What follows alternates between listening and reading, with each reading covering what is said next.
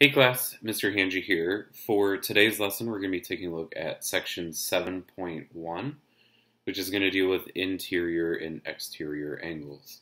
Now, for today's lesson, we have two learning goals, and our first learning goal is that you will be able to find the measure of interior and exterior angles of a triangle, and you will be able to find the sum of measures of interior angles of a polygon. So we're going to look at the interior and exterior angles of different shapes and what relationship we find and know about those. Now, first we're going to start with interior and then we'll move into exterior. So let's take a look at interior angles first. Now, you can find a relationship between the measures of the three angles of a triangle.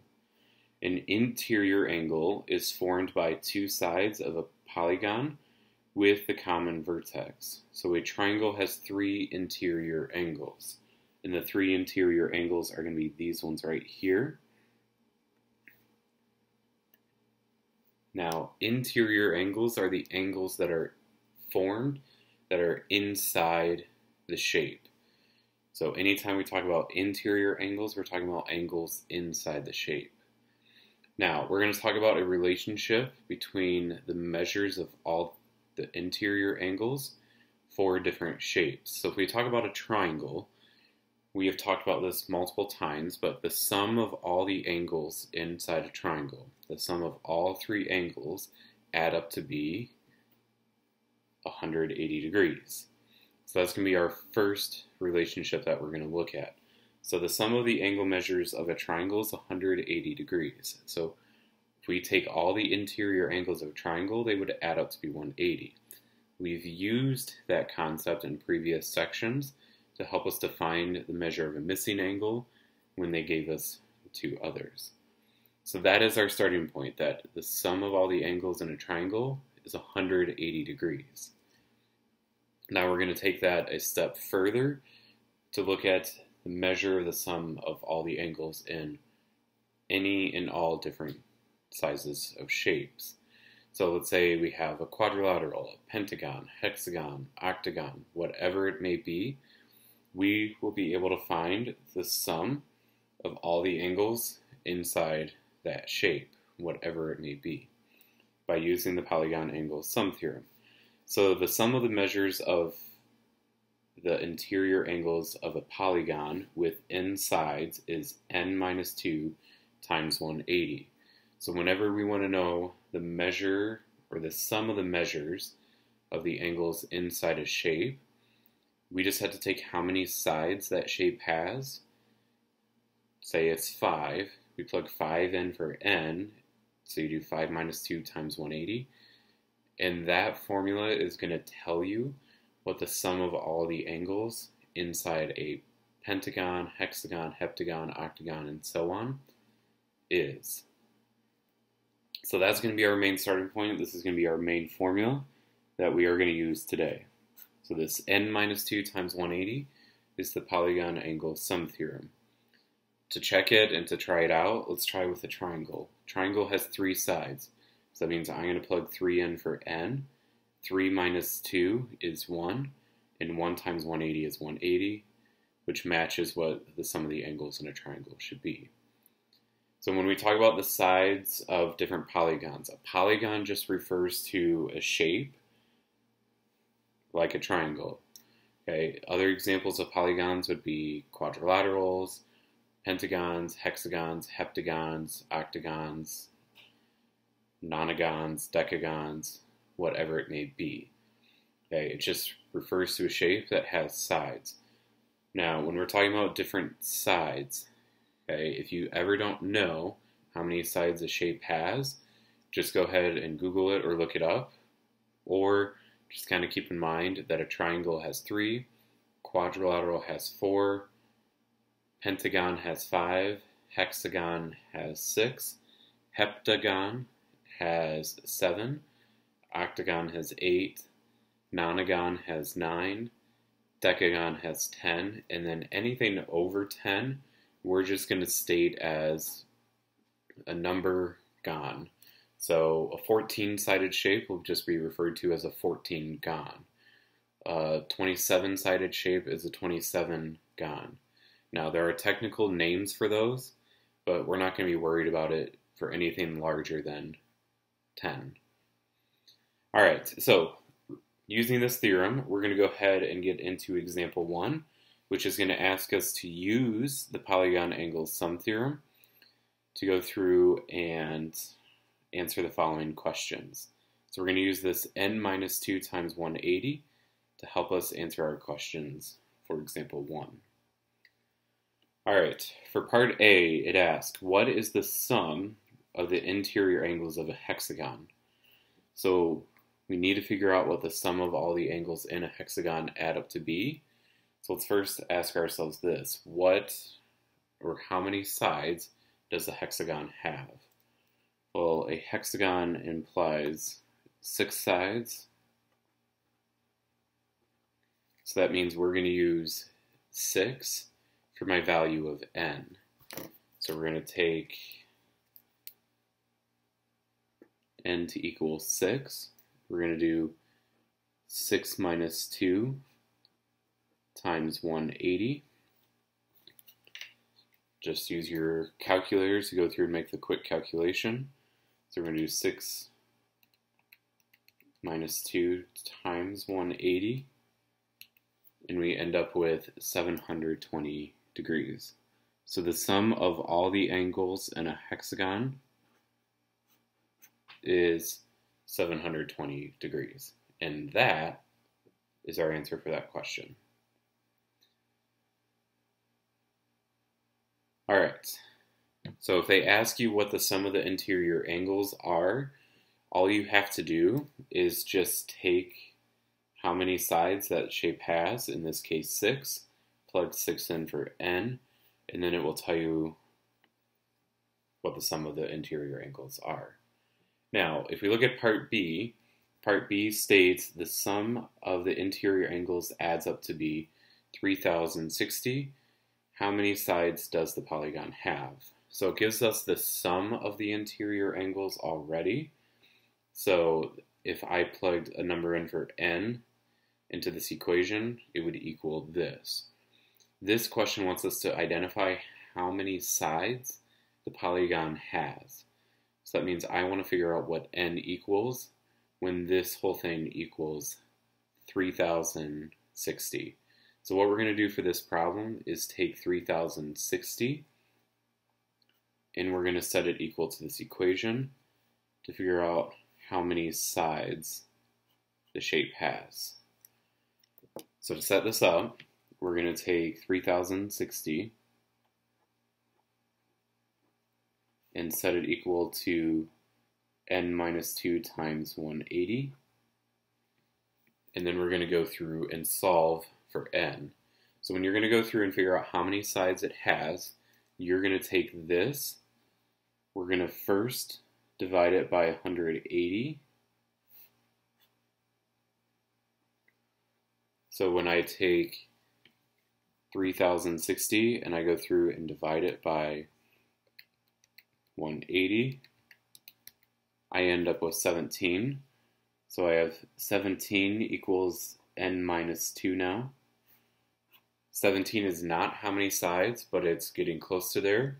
All I have to do is add 2 to the 17 and I get 19. So that means this shape would have 19 sides. So when it asks the sum of the interior angles adds up to be 3060, how many sides does the polygon have?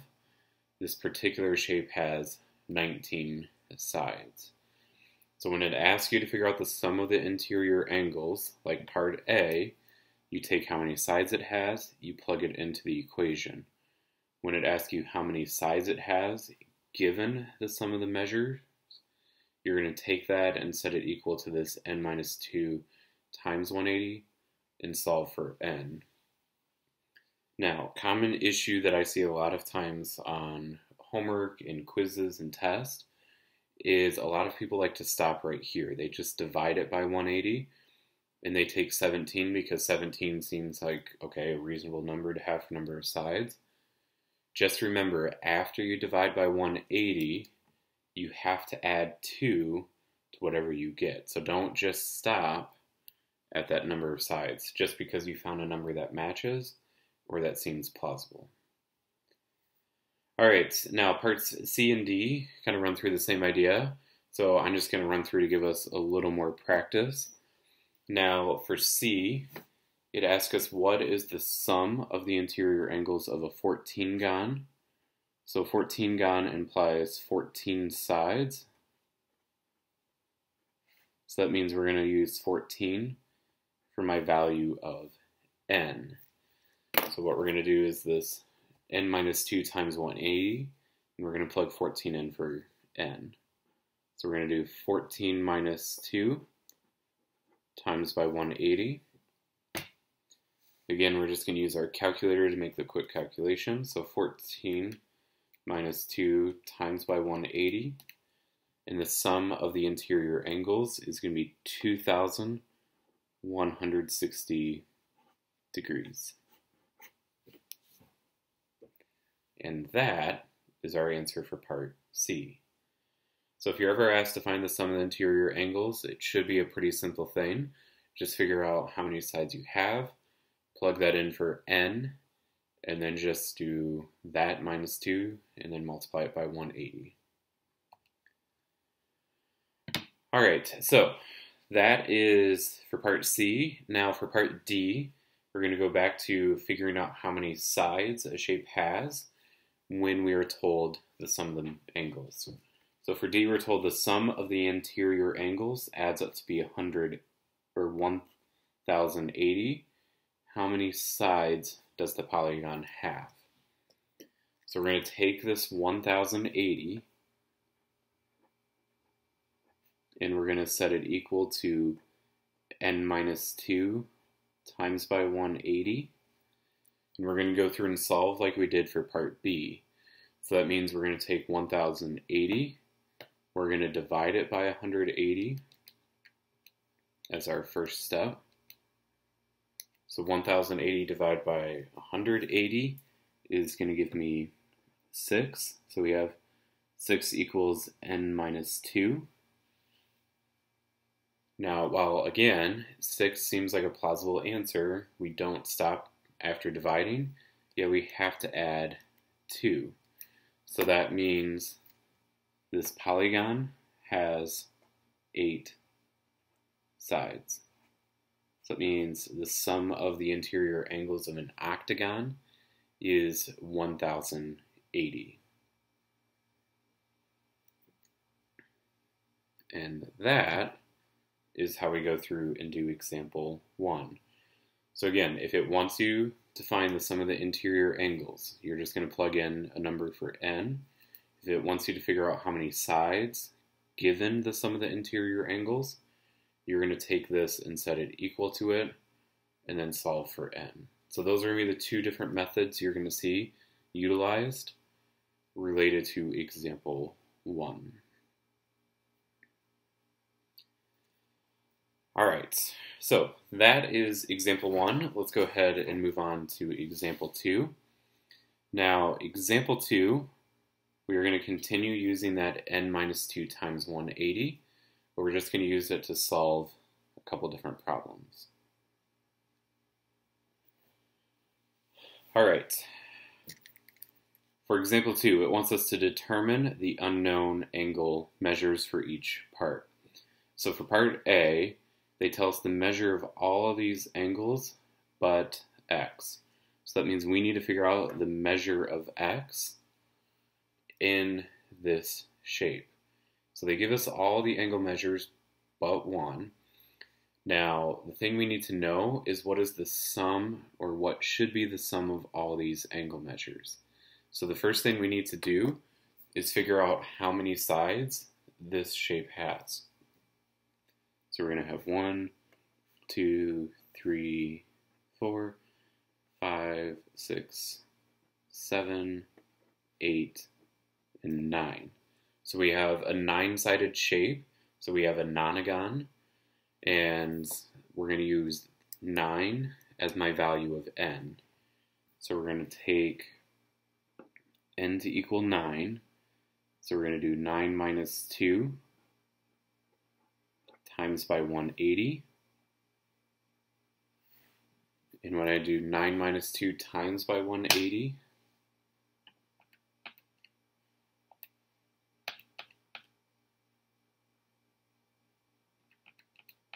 I end up with 1,260. So that's going to be the sum of all the angles inside my nonagon. So if I know that all these angles add up to be 1,260, that means I'm going to take 1,260 and subtract it by 125, 130, 172, 200, 140, 102, 98, and 135. So I'm going to subtract it by the eight angles that I know to figure out the measure of the ninth angle. So we're going to go through and do that right now figure this out. So 1,260 minus 125 minus 130 minus 172 minus 200 minus 140 minus 102 minus 98 and then minus 135. If I hit enter, I end up with 158. So that means my measure of my missing angle and my value of x is going to be 158. So in this case, x equals 158, and that is the measure of my unknown angle.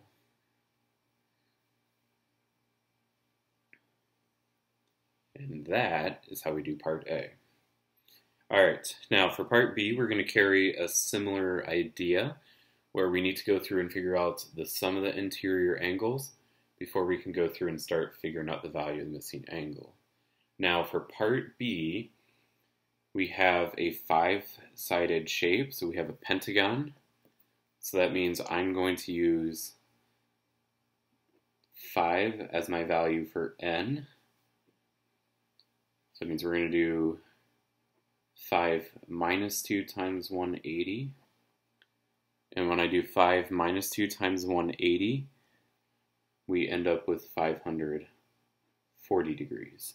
So that means all five of these angles would add up to be 540 degrees. So that is my first step, is to figure out the sum of all the angles in a pentagon, and I get 540. Now, if we look at this shape, we need to figure out the measure of the unknown angles. Well, I have two x's involved here. And then I also know that these angles are 90 degrees because they tell me they're right angles. So I know all of these are 90 degrees. Now, I have two angles that are unknown. They're both defined by x. Because they're both defined by x, that means they are the same measure. So how we are going to set this one up is we're going to take my starting point of 540 and 540 is a result of adding all these up. So I'm going to take 540 and set it equal to 90 plus x plus 90 plus 90 plus x.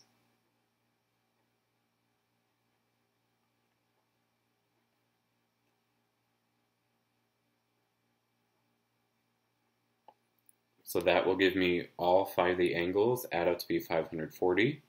So I just have to go through and combine like terms. If I do 90 plus 90 plus 90, we get 270, so it's going to be 540 equals 270 plus, because I have two x's, x plus x is 2x.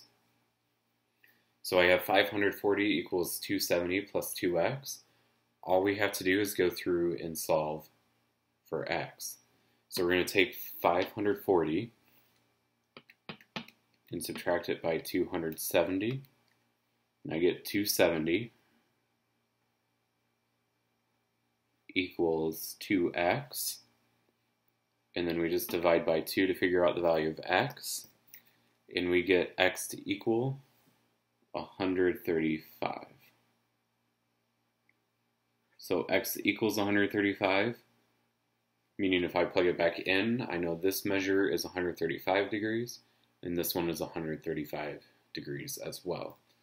This works just the same as if they were to tell you that this is x and this is x, or if they told you this is 2x and this is 2x. Same idea applies. It just instead of having x and x, be 2x and 2x, which would mean this is 4x, and then you would divide.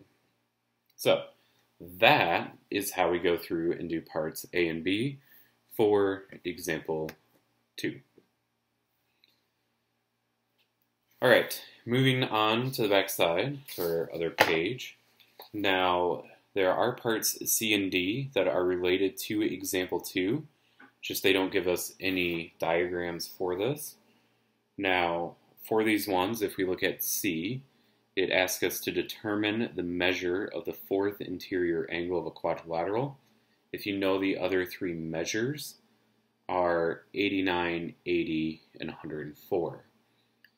So we're going to use the same idea, they just don't give us a diagram to go off of. But because we're talking about a quadrilateral, that's a four-sided shape.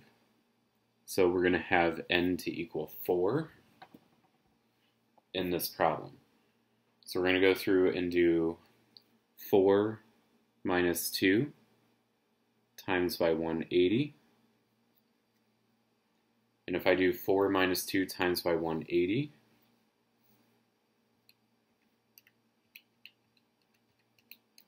we end up with 360. So that means all the angles in a quadrilateral add up to be 360. So to figure out the measure of the fourth interior angle, we are just going to take 360 and subtract it by these three angles right here. So we're going to do 360 minus 89 minus 80 minus 104.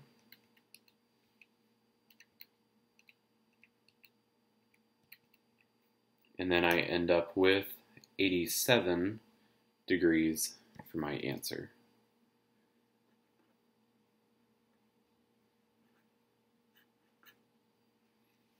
So start with figuring out what the sum of all the angles should be, and then go through and subtract away.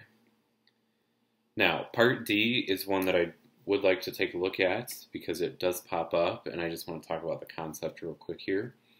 For part D, it asks what is the measure of each angle in a regular decagon. So two things here. It wants to know the measure of each angle. So when we're talking about a regular shape, whether it's a decagon, octagon, hexagon, whatever, a regular polygon just means that all the sides have the same measure and all the angles have the same measure. So whenever you are asked to figure out how to figure out the measure of each angle in a regular polygon, this is what you would do. So first of all, we need to start with how many sides does the shape have? Well, we're talking about a decagon, so that implies that I have 10 sides. So that means my value for n is going to be 10. Your first step is to figure out the sum of all the measures for the interior angles. So we're going to do 10 minus 2 times by 180 so if we do that, 180, we end up with 1,440. Now, that is the sum of all the angles in a decagon. Because we're talking about a regular decagon, we want to know the measure of the each angle. Now, regular implies that the fact that all the angles are the same, decagon means that I have 10 different angles, just like I have 10 different sides. So we're going to take this 1440 and we're going to divide it by how many angles the shape has, which in this case is 10. So we're going to take 1440, divide by 10, and we get the fact that each measure or the measure of each angle in a regular decagon, is 144.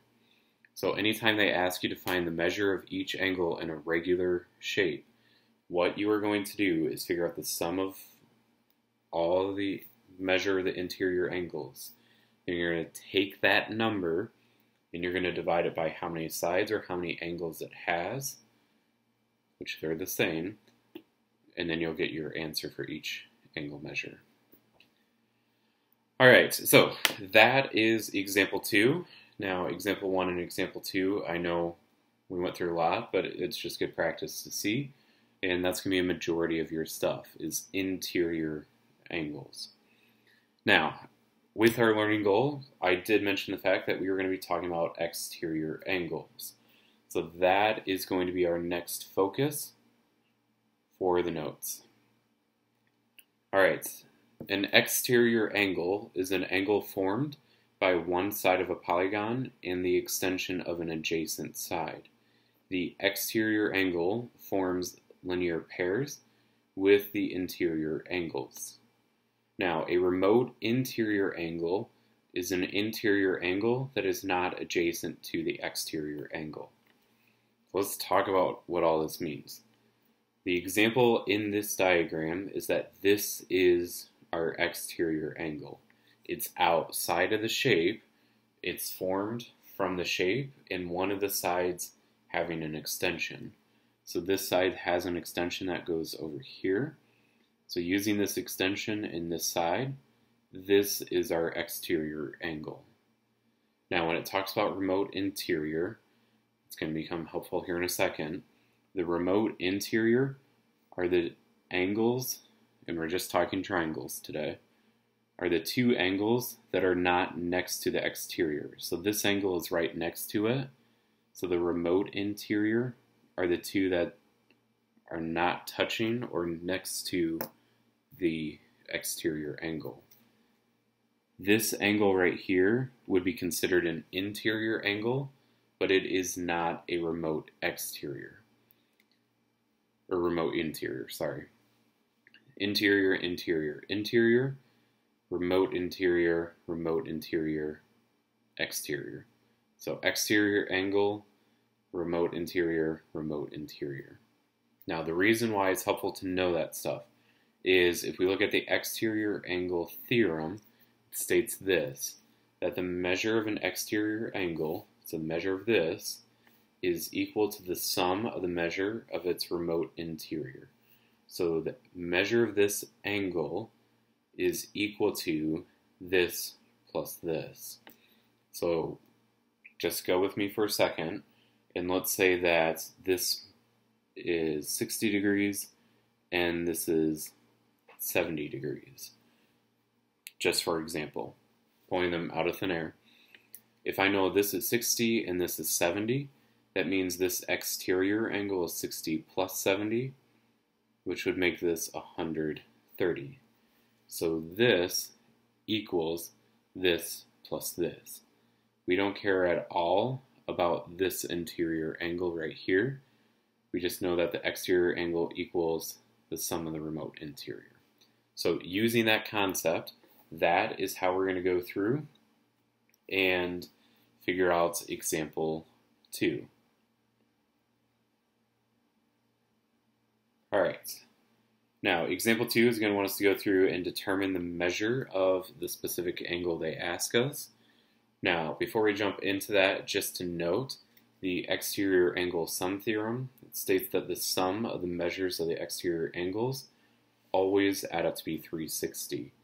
No matter if we're talking about a triangle, pentagon, hexagon, whatever, they all always add up to be 360. All right, so example two. If we look at part A, they want us to figure out the measure of VWY. So VWY is going to be this angle here. So we're trying to find the measure of the exterior angle.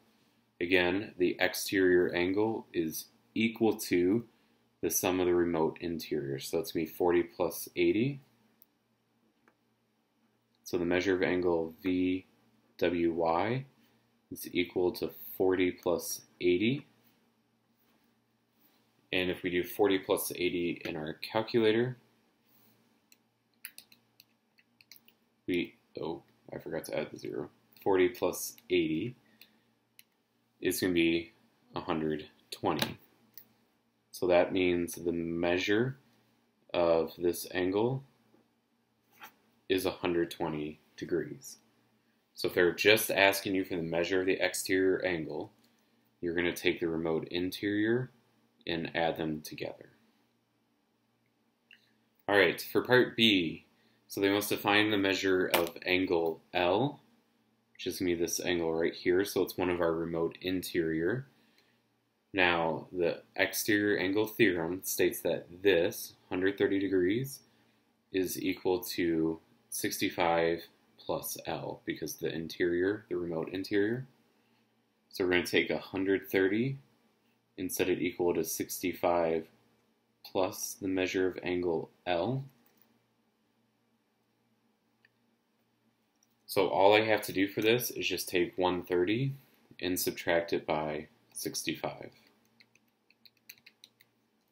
And in this case, we get 65 for the measure of angle L. So that means 65 is my answer in this case. So that is just a very general basic example of using the exterior angle theorem. For parts C and D, we're going to go through and up it a little bit by involving variables. So let's go ahead and move this up to go through and practice C and D. So we're going to keep the same idea that the exterior angle equals the sum of the remote interior. Now for this one, it wants me to figure out the measure of PRS, which is going to be this angle right here. So I want to figure out the measure of that angle, but before I can go through and do that, I have to figure out the value of x. Now, to figure out the value of x, what we're going to do is go through and use the exterior angles theorem, which states this angle is equal to this plus this. So we're going to take 3x minus 8 and set it equal to, and this is 90 degrees, 90 plus x plus 2. So it's the exterior angle equals the sum of the remote interiors. So 3x minus 8 equals 90 plus x plus 2. So the first thing we're going to go through and do is combine like terms, and then we'll go through and solve for x. I'm okay on the left side with 3x minus 8. And then on the right side, we're going to combine the 90 and the 2. So I get x plus 92. Next step is to get x on the same side, so I can either move the 3x to the right or the x to the left.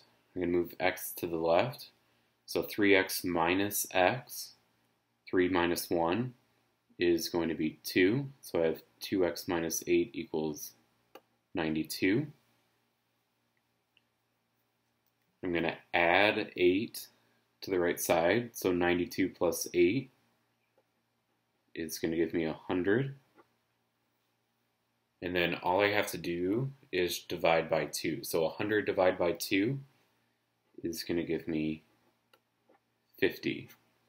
So I now know that x equals 50, and that's all well and good, but now I need to use that 50 to go through and figure out the measure of PRS. So we're going to go through and plug 50 in for x, for PRS. So angle PRS equals 3 times 50 minus 8. So we're going to do 3 times 50, and we get 150 minus 8 is going to give us 142. So that means the measure of PRS is 142 degrees.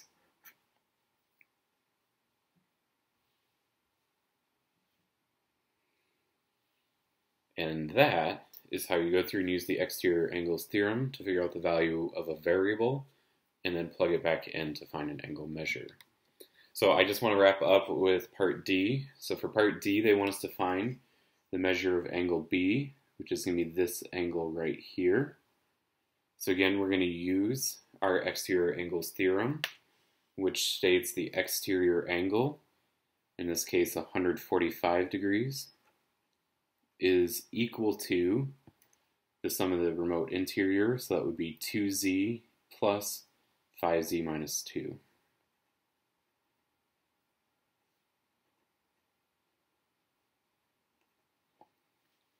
So we're going to go through and solve for z, and then we'll plug it back in to figure out the value of b. So we go through and combine like terms. I have a 2z and a 5z, so I have 7z. To be 145 equals 7z, and then that's minus 2. So I'm going to go through and, because I have the variable on one side, we're going to add the 2 to the 145, and I get 147, and that equals 7z. Then from here, all I have to do is just take 147 divided by 7, and I end up with 21 for my value of z. So z equals 21, and again, this question wanted me to figure out the measure of angle B. So I'm going to plug it into this 5z minus 2. So angle B is going to be 5 times 21 minus 2. So 5 times 21 is going to be 105. Subtract it by 2. And angle B is going to be 100 and 3 degrees. And that is my answer for part D. All right, so that is it for our lesson today on interior and exterior angles of polygons, whether it be triangles, quadrilaterals, and so on. Um, be sure, as you go through the homework, to reference back to the video or use my completed notes. Otherwise, that is it for today on section 7.1, dealing with interior and exterior angles. If you have any questions, as always, let me know next time you see me, or just shoot me an email. So, that is it for today. Thank you for listening, and have a great day. All right, bye.